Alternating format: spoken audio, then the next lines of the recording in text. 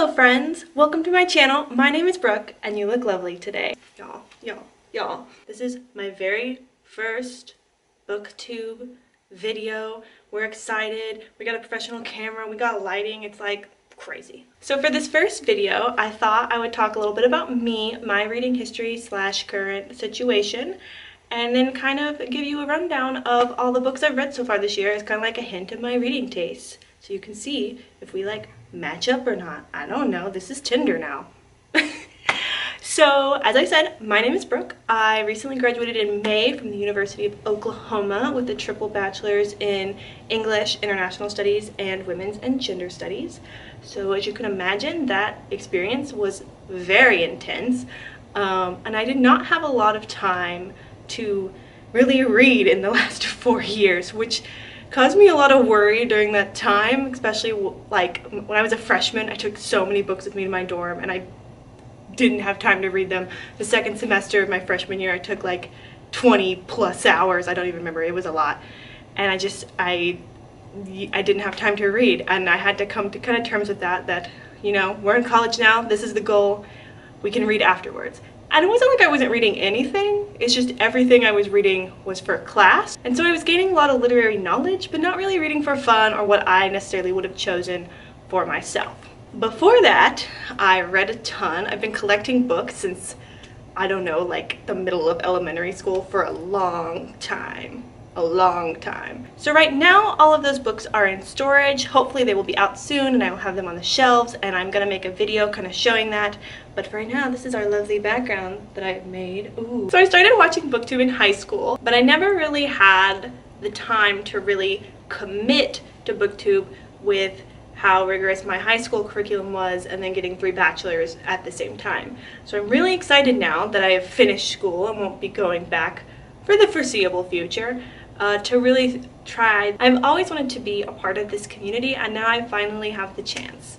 So without further ado, let's get to the 23 books I've read so far this year. Okay, so the first book I read at the beginning of the year was Long Way Down by Jason Reynolds, which you can see is by this lovely sticker here I got from Half Price Books. We stand. Jason Reynolds was an author I had been wanting to check out, and this is either his newest book or very close to his newest book, so I was seeing it a lot of places. When I picked it up, y'all y'all this novel is in verse and your girl is a sucker for novels in verse. I have always always loved them. So i picked this up for my first book of the year. I think i basically read it in like one night. It was pretty good. I'm gonna keep it. I'm a big proponent in unhauling books that you don't really like. Also y'all i just a minute ago in between filming like took this cover off and i don't know if you're gonna be able to see this. I'm gonna try. Can you see it? Yes like embossed on there, it's like numbers counting down. I'm really into like under the jacket book art right now. So the second book I read this year was Stain by A.G. Howard. My best friend actually got me this for my birthday, which is in early February. So as you can see, I read that book in January. Didn't read this book until February. There's a big gap in my reading at during school because I was still in school at the beginning of this year. I wanted this book because I thought it was a Rapunzel retelling uh, which it actually is not. It's technically a Princess and the Pea retelling, but it has a lot of other fairy tale stories and elements mixed in. This is a standalone. It's not part of A.G. Howard's, I think it's called, is it on here? Splintered series, uh, which I think is an Alice in Wonderland retelling. A lot of people think that because it kind of has the same color. I think they're just doing a branding thing for her. But I pretty much enjoyed this. It took me a while to get into it at the beginning because the writing style is kind of strange because she's trying to emulate a fairy tale. But I did really enjoy this and it's actually on my list of book inspo for the novel that I'm currently outlining. The third book I read was On a Sunbeam by Tillie Walden. This is a graphic novel. Um, it's kind of monotone. There is some color. I really like graphic novels in color. I'm not a big fan of like black and white. This is kind of like a dual timeline story with the same uh, main character. Part of it takes place when she's in boarding school and it's about her romance with her girlfriend. And then the other part takes place like several years later when she's gotten her first job with this space crew that goes to different planets and renovates ruins for new use, I guess. Um, I really liked this. There is not a single male character in this book. Um, every character is a woman except for one character who identifies as non-binary. I didn't realize that until a big chunk of the way into the book and then I had to go back and look at like every single little mini character that they'd shown to like confirm that what I thought was true was true. They don't explain that. They don't say whether there are just no men or whether they're not shown. I feel like men have to exist for the concept of non-binary to be a thing. The next book I read is What If It's Us by Becky Albertalli and Adam Silvera. I haven't read anything else by Becky Albertalli, but I have read History Is All You Left Me by Adam Silvera, and I really loved it. I also enjoyed this. Uh, I've now bought all of Adam Silvera's books to read, but he's also coming out with new fantasy. I follow him on Twitter. But I really like this. It was really cute, fluffy. The next book I read was Love That Dog by Sharon Creech. I actually read this for the children's literature class that I took last semester. Um, I loved this book. It's so adorable. Again, it's in verse. Oh, I picked a good page. Haha, concrete poems. But it was in verse and it's just, it's a middle grade book about this boy who's dealing with loss in his family and it's just so cute. It was so precious and it made me want to cry. The next book I read was Autoboyography by Christina Lauren. I thought this one was going to be a cute little sweet contemporary like What If It's Us, but it's actually very hard hitting. It's about uh, a male-male relationship. The one main character is bisexual, the other one is gay. But the gay character is also Mormon, and it has to do a lot with religion and how do you like grapple with your religion when it opposes your sexuality and when your family opposes your sexuality and so it was very rough. It was not as cutesy as I was hoping. Also, the bisexual main character is taking part in a class where he has to write a novel, which was another thing about this book that really excited me because I love it when books are about books. And like that was a part of it and that played a point in the plot, but it wasn't as big as I was hoping for. This was still cute even though it was heart-wrenching and I did enjoy it. The next book I read was The Princess Saves Herself in this one by Amanda Lovelace, which is a collection of poems. At the end of 2018, I read another book by Amanda Lovelace, uh, not in this series, I think it's called To Make Monsters Out of Girls or something like that. I don't know, it's in the Bennett books over there.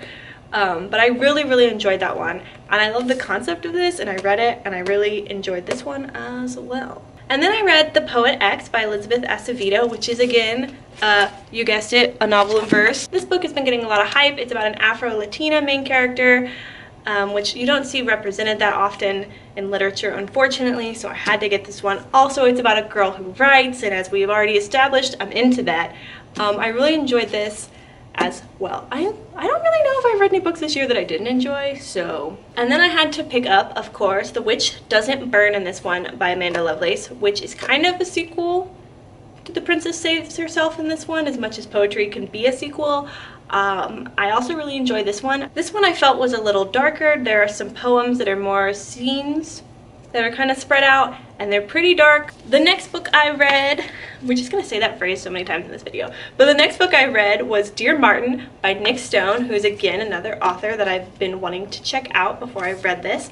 Um, this book was really good. There's a very sad part in the middle and while I was reading this book, my best friend actually texted me right after that scene and she was like, do you wanna go get ice cream? And I was like, girl, I need the ice cream right now. I need it. And I went to a book festival and I met Nic Stone and I told her that story and she's such a lovely lady. And she signed my book with Ice Cream Was a Good Plan. The next book I read, I borrowed from work, so I'll put a picture somewhere, but it's The Island of Sea Women by Lisa See. I had to read this because I was the book club facilitator for the month and it was the Barnes & Noble book club pick. It follows this friendship between these two Korean women who are divers. And when I say divers, I don't mean like oxygen tanks, scuba masks. Like these ladies hold their breath, go underwater, and like dive without air tanks. Like it blew my mind. But it follows their relationship from, I think it's around the right before World War II, like through the Korean War and like all this stuff. It's very historical. I really enjoyed it and I was glad that if I had to read a book for the book club, uh, that it was this one. Uh, at the time, I was very stressed out about it because I was in school and I didn't know if I was going to have time to read it. But I read it. I really enjoyed it. I don't know if I'll check anything else out by Lisa See just because she doesn't write the kind of stuff I normally read. But I did like this one. Then after that, I read two books by Jacqueline Woodson for a project for my children's literature class. I also don't own these. I borrowed them from my school library, although I may buy them because Jacqueline Woodson is a national treasure. And they were from the Notebooks of Melanin Sun, and I hadn't meant to tell you this. Melanin Sun uh, involves a boy who journals, as the title might suggest, and he is coming to terms with the fact that his mother has recently started dating a woman. Ha, ha, it's a middle grade. It's great, I recommend. As I said, uh, Jacqueline Woodson's amazing. It was great. I loved it. I hadn't meant to tell you this. It's about the friendship between a higher class black girl and a poor white girl who are both dealing with the loss of their mothers in different ways. They are also trying to figure out what to do about the fact that the white girl, I don't remember their names, my bad, is uh, experiencing child abuse. Then I read Be Brave by J.M. Farkas, which is actually a blackout poem. It is a feminization of Beowulf and like as an english major and a person who loves literature like that just that just it's everything. But so i really enjoyed this one. It says on the back that it's going to be the first in a series so i'm going to watch out for that and hopefully collect a ton of these and love them all. The next book i read was i wrote this for you by Iain s. Thomas which is this collection oh this, this is one of the sideways pages which is a collection of pictures and poems. This is sad story time because you may have noticed all these poetry books and they're all published by this company, uh, Andrews McMeel Universal. I actually interviewed for a global publishing summer internship with them. I made it all the way to the last interview and then didn't get it. But while I was in the interview process, I went to my Barnes & Noble and I picked up a bunch of books that I was interested in from their publishing company to kind of do some research and feel it out. Um, so Amanda Lovelace, I love her anyway, but she's part of that. So is the Be Brave. So is this. Now, uh, this one I didn't enjoy as much as the other one. There were some good pieces in here, but I think maybe the pictures and the poems aren't, their, their connection isn't like visible to a brain like mine. I don't know. It may also be that I took a giant gap in the middle of reading this because I was moving, um, and so I may have missed some of it. I might try rereading it before I decide to unhaul it. Next I read, I'm gonna pull it out y'all, I'm gonna pull it out. I hate box sets. The future reference, I hate box sets. The Lightning Thief by Rick Riordan. Of course, this was a reread for me. I think I started reading these in like the fifth grade. But I went to go see The Lightning Thief, the musical, in Tulsa at the end of May. So of course I had to reread this beforehand because it's been so long. Also, side note, I recently bought new copies of these because my original copies are from when I was in elementary school and they are mismatched and beat up. And this box set is on sale at Barnes & Noble in the bargain section for 20 bucks. You get all five of them and the uh, Greek Gods book for that much. I'm probably going to get rid of this Greek Gods book and the box. Um, not because I necessarily don't want this book, although I haven't decided, but mainly because if I get this book, I want two that matches because there's like the Greek gods and the Greek heroes, and I would rather have two that go together. Also, I hate box sets. I hate dealing with them, and I hate the way they look on the shelf, so I kind of want to get rid of the box. Although I am kind of glad I bought this box set because I don't really like paperback books. Sorry, um, I'm a hardcover person, but these paperbacks are actually like kind of reinforced. I guess they kind of wanted to make them stronger since you have to pull them in and out of the box set. But yeah, so they're stronger than normal paperbacks, which is great. Then in May, I actually went to WisCon with my friend Adrian. It is a feminist sci-fi fantasy convention that takes place every year, and every year they give out this award called the Tiptree Award, and my friend Adrian uh, translates Spanish fiction into English, and a story that she translated actually won, so then they gave her an honorary award, so we went. Part of the conference is about raising money for the next year's Tiptree Award, and to do that, they have an auction, and some of the things that they sell are arcs. And now I know that there's a big thing in the reading community slash writing community right now about uh, arcs are free, and I really agree with that. However, they were like $3 and it was to support a literary convention, so I was like okay with paying them. And so the first one of those I read was Once and Future by Amy Rose Capetta and Cori McCarthy. I had my eye on this book already, and I figured for $3, why not get it? Check it out. This is a queer, gender-bent King Arthur retelling in space. Like, what else do you need to know? I really enjoyed it. There were a couple things that I was kind of eh about, like the romance feels very insta-lovey and there are a few things like that. Um, I've been seeing very mixed reviews for this, but I do know that there's already going to be a second one. This ended on a cliffhanger, so there better be just saying. And I will read it and I am looking forward to it. Next I read Ayesha at Last by Uzma Jalaluddin, which I'd actually not heard of before I went to the conference, but when I was browsing the books on the table I saw it. And this is what it says at the top, A Modern Day Muslim Pride and Prejudice. Again, what more do you need to know? What more do you need to know? I really enjoyed it. I will probably be getting a finished copy of this and the last one um, at some point, but do recommend. It was cute. Also, side note, I have this uh, really bad habit of when I'm really enjoying a book but I get tired of reading but I want to keep knowing what the story is that I start skimming and then I read the rest of the book anyway afterwards but like I skim and I spoil everything for myself and this is one of those books that I did it with. So you know it was good. Um, just saying. Next I read this big boy right here, Sky Without Stars by Jessica Brody and Joanne Rendell.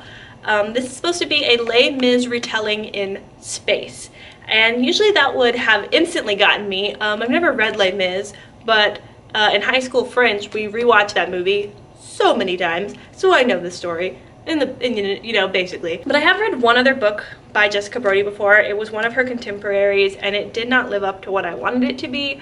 So I was a little hesitant. But when I saw it for $3, I was like, let me try it out. Let me give it a chance. Why not? And I really, really liked this. Like I liked the writing, I like this kind of storytelling. We follow three main characters. This isn't a full Les Mis retelling despite its size. It starts toward the end of the story and we follow the teen characters in the book slash movie in my case.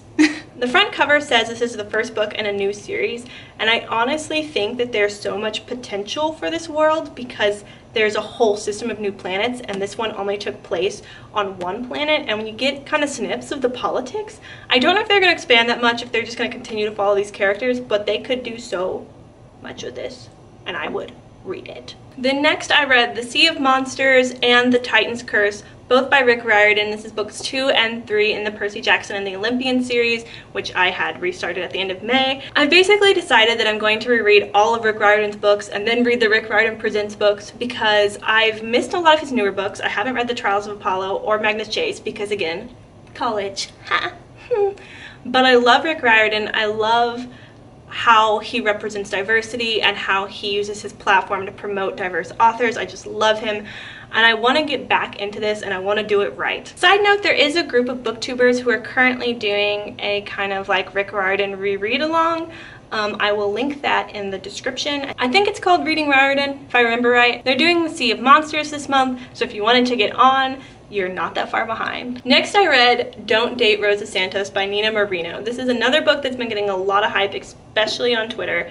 I was kind of not really feeling it for some reason. I don't really know why. But when I saw it there for $3, I went ahead and picked it up, thought I'd give it a shot, and it was really cute, and I really enjoyed it. I could see how this would mean a lot to someone who has cultural connections to the family that's represented in here who are Cuban American. I also really enjoyed the exploration of generational women relationships in this book. That's something I've been thinking a lot about in my own family recently and so I enjoyed reading it. And the last book I finished this year, the 23rd book, finally, I'm sorry that this video is so long, is We Hunt the Flame by Hafsah Faizal. Now this was the YA book club pick for Barnes & Noble for the month of July. Uh, this has also been getting a lot of hype.